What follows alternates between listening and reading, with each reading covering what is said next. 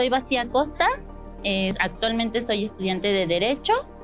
y, y, soy miembro de la Organización de Lucha por la Emancipación Popular y de la Unión Democrática de Trabajadores y Trabajadoras.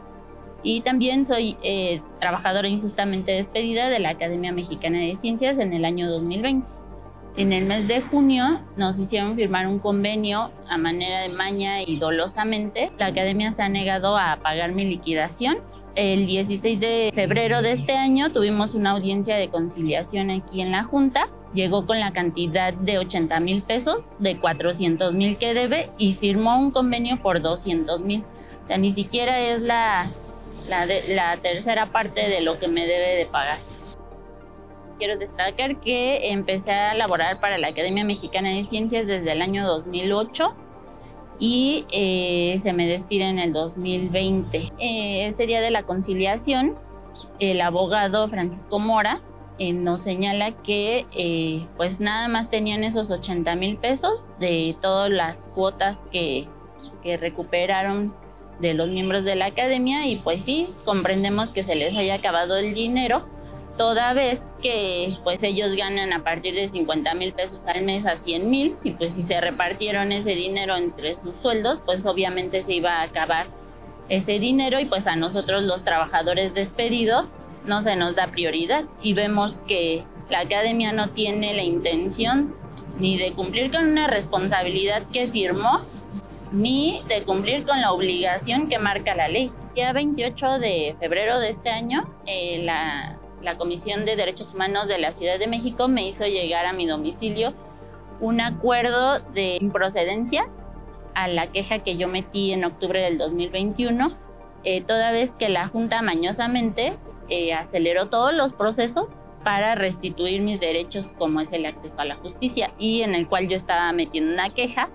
porque pues no se estaba llevando el debido proceso en los tiempos. Entonces ahorita la comisión pues ya se deslindó del caso cuando todavía no acaba el juicio y que en los hechos ahorita la Junta Local está trazando nuevamente eh, mi proceso a partir de que la comisión se deslinda y eh, ya llevamos un mes de retraso en el cierre de instrucción.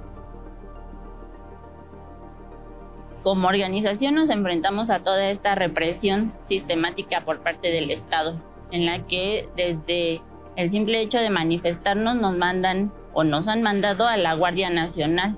a hostigarnos, a tomarnos fotografías, a tomarnos videos. Y en lo personal, pues me he enfrentado al sistema burocrático de la Junta, un poco de lo que yo he hecho durante, bueno, desde el 2014 como defensora de derechos humanos, pues fue en este contexto en el que el pueblo de San Bartolomé Yalco, en donde yo habito actualmente, eh, fue sitiado por más de 2.000 granaderos en, la, en el mandato de Mancera y Leonel Luna, en el que se eh, quería llevar a cabo una obra hidráulica sin el consentimiento del pueblo originario. Y a partir de ahí, pues en el 2018 y, a la fecha, pues me incorporé al Comité Cerezo México, a toda esta capacitación en derechos humanos. Y en 2020, eh, donde fui despedida también injustamente, me incorporó a la OLEP UDIT para eh, defender pues todos estos derechos laborales. El llamado es a unirnos como clase trabajadora, no solamente como mujeres, sino como hombres y mujeres trabajadores de la clase proletaria para luchar por todos estos derechos que el mismo gobierno nos está vulnerando. Si nosotros seguimos luchando por eh, la restitución y la exigencia de nuestros derechos, pues vamos a lograr que el sistema cambie y que ya no sigan eh, pisoteándonos, ¿no? Como trabajadores.